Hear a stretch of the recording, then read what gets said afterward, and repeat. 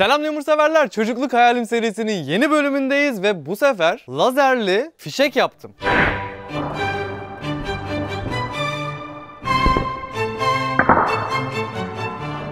Ben çocukken bu fişeklerden böyle dandik elektrik borularından falan yapıyorduk. İçine kağıttan böyle uzun fişekler yapıyorduk fakat onlar pek güçlü olmuyordu. Ben de dedim ki bunu maksimum güçte nasıl bir şey yapabiliriz? Yani en güçlü nasıl olur? Sonra yurt dışından kopya çektim. Lazerli, üstelik fişeklerin ucunda çivi olan bir versiyonunu yaptım. Yapımı gayet basit. 20'lik su borusunu istediğimiz boyutta kestik. Bende bir tane 58 santimlik var. Bu 75 santim gibi bir şeydi sanırım. İki tane yaptım ben bu dümdüz. Ve Harun'un özel tasarımı bak.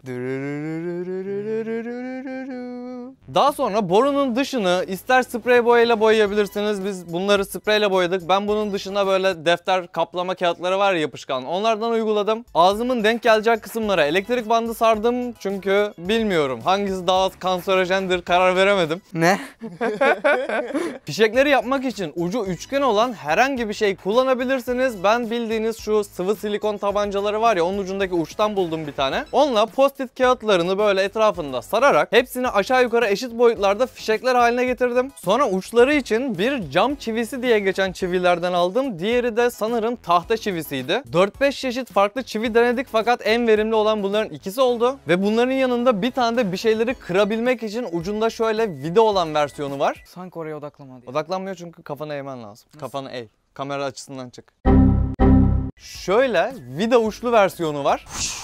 Ve son olarak çiviler burada sabit dursun diye içlerini sıcak silikonla doldurduk. Çocukluğumuzda yaptığımız hatayı da ben burada keşfetmiş oldum. Çocukken de biz bunları çivili falan yapıyorduk fakat Ucuna yük bindirmiyorduk. Evet, dolayısıyla olmuyordu. Sıcak silikon yerine oyun hamuru, cam macunu falan her şey kullanılabilir. Tükürük bile kullanılabilir arkadaşlar. O da bir sonuç olarak ucuna ağırlık katıyor. Harun hep başarısız kalmaya devam edecek.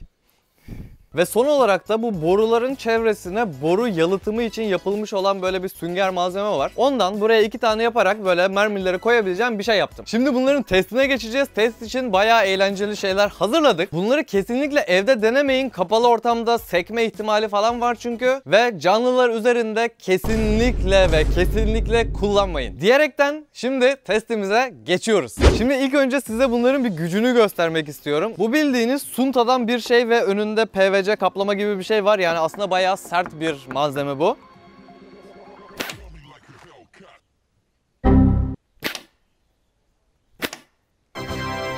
Üçüncü deneme de olsa sonunda saplandı. Şimdi Harun Bey kapışmalara hazır mısın? Tabii ki.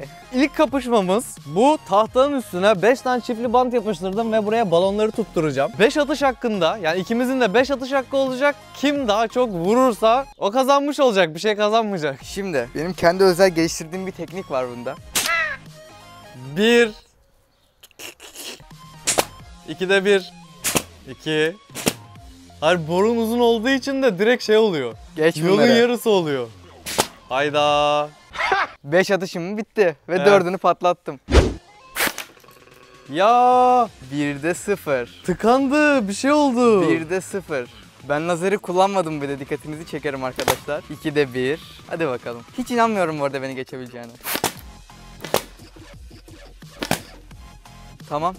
5 atış. Ha doğru. Gaza gelmişim ya bir anda. Fişeklerimi toplayayım. Berabere. Ama bu böyle kalmaz. Bence bak mesafeyi arttırıp şöyle çaprazdan yapalım bir de. Tamam, bana getir balonları. Şimdi bakın onun yerini hiç değiştirmiyoruz. Geçen sefer şuradaydık ya. Bu sefer şu sarı yaprağın olduğu yerden. Tamam. Şu an en güzel mermimle bir atış yapacağım tamam mı?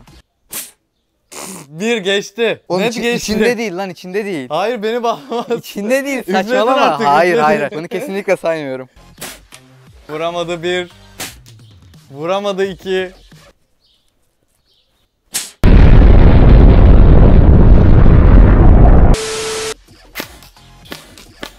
Oğlum hiçbirini patlatamadık. Niye böyle oldu? Eziksin çünkü. Oğlum sen de patlatamadın. 4'te 0 ben kazandım.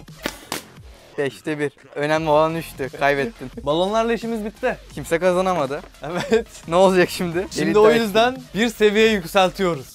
En havasız gözüken uçlara geçiyoruz. Oo. Ama aslında en havalıları bunlar. Oo. Şimdi buraya bardakları ayarlıyorum. Aa çok güzel oluyorlar. Şimdi bak kurallar şu şekilde. Bunları vida uçlarla kırabiliriz. Bunlar ise sadece çiviyle. Bunlar boş bu arada ama bu elimdekiler dolu. Ve çalkalıyorsun.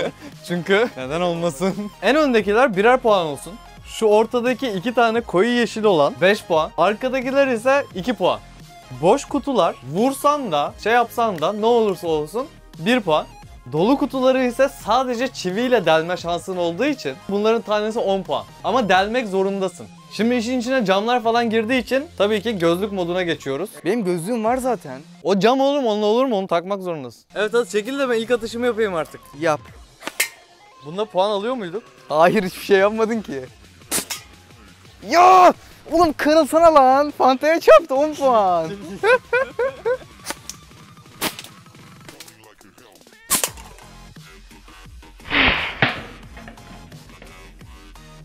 sapladım. Vallahi sapladım. Hem de bayağı sapladım.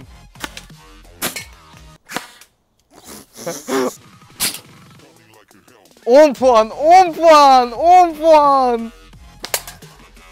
Geldim. Bakabilir miyim? Bakabilirsin. Yani ondan 10 tane daha bu şekilde vurursan beni geçersin abi. Bu arada şey yapalım. Beşer ak beşer ak olarak güncelleyelim. At beşgen. Sen başladın, en son sen attın. Salağız ama aptal değiliz yani Lemur.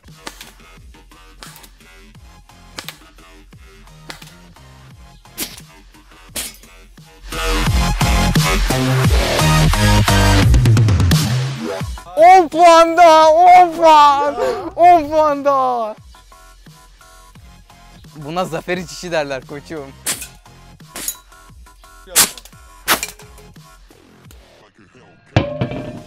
Aa! Vallahi bilerek yapmadım.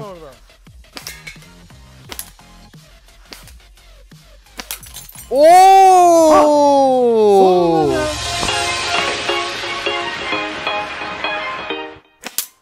Ya. Aa, bitti. İkisine birden vurdum bir de ya.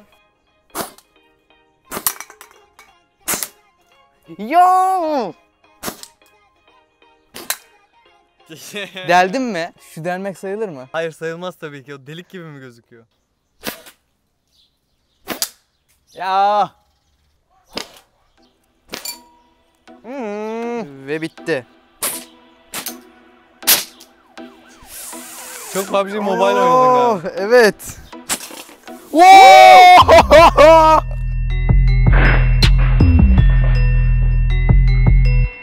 Gördün mü PUBG'yi oğlum? Gördün mü? Ya üçünü de vurdu şaka gibi ya. En azından ben bir tanesini vurmalıydım ki. Orada da bir çekişme olsun bir şey olsun. Şu an çok sinirlerim bozuldu. Sana şu an kıyak geçiyorum. Şu ortadaki iki tane koyu yeşili var ya. Evet. Onları 10 puan yapıyorum. Sadece bana 10 puan ama. Hayır. Bana da 10 puan. Hayır sadece bana 10 puan. Ben hiç cam kıramadım ama dikkatini çekerim. Tamam. 5 atış hakkım var. Haydi. Balonda patlattığım için artı 20 puan.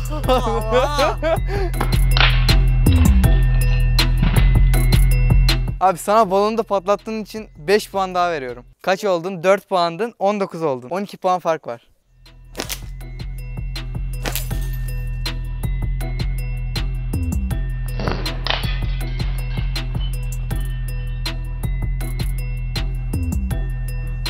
Aa, şimdi biraz sıkıntıya girmeye başladım sanki ha.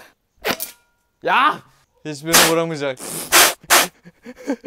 Kulaklarım çok kötü oldu. Düzgün yapamamışsın. Benim atma hakkım var mı? bunu? Düzgün yapamamışsın dediğini ben atabilir miyim? Puanı alırım ama vurursam. Ama diğer Tamam mı? 4 tane atarsın benim hakkımda. Hayır. Şu an olarak sen tamam, bu düzgün tamam, değil dedin. tamam, tamam, tamam, atılmıyor dedin. Tamam dedin atılmıyor. mi? Evet evet kesinlikle.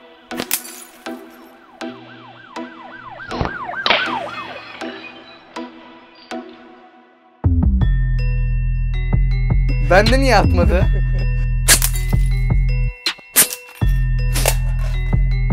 Delemedin. Delmiş tamam. Artık bu da 10 puan. Böyle mi oynuyoruz abiciğim? Böyle mi oynuyoruz? Bak şimdi nasıl vuruyorum iyi izle. Hadi vurdu göreceğim.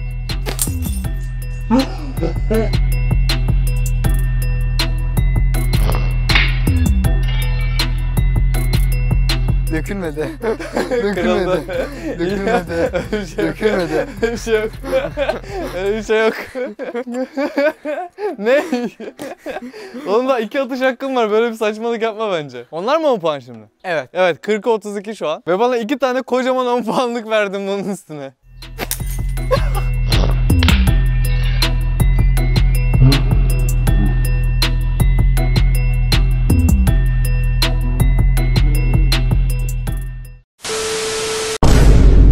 Ben neden gaza gelip sana gittim onlara? 50'ye 32. Harun Sama loz. Ama mantıken arkadaşlar zaten videoyu izleyenler anlamıştır. Yine Harun Sama kazandı. Sadece verdiği avantajla abim öne geçti yani. Fark eder mi? Kazan işte bir kere de sen kazan ne yapayım ya. Fark eder mi? Bir çocukluk hayalin bölümünün daha sonuna geldik. Bu tarz videoların devamını istiyorsanız videoyu aşağıdan beğenmeyi ve bir yorum bırakmayı unutmayın. Ayrıca 1 milyon aboneye epey yaklaştık. Destekleriniz için teşekkür ediyorum. Şuralardan başka videolar izleyebilirsiniz. Buralardan kanallarımıza abone olabilirsiniz. Başka videoda görüşmek üzere. Kendinize iyi bakın.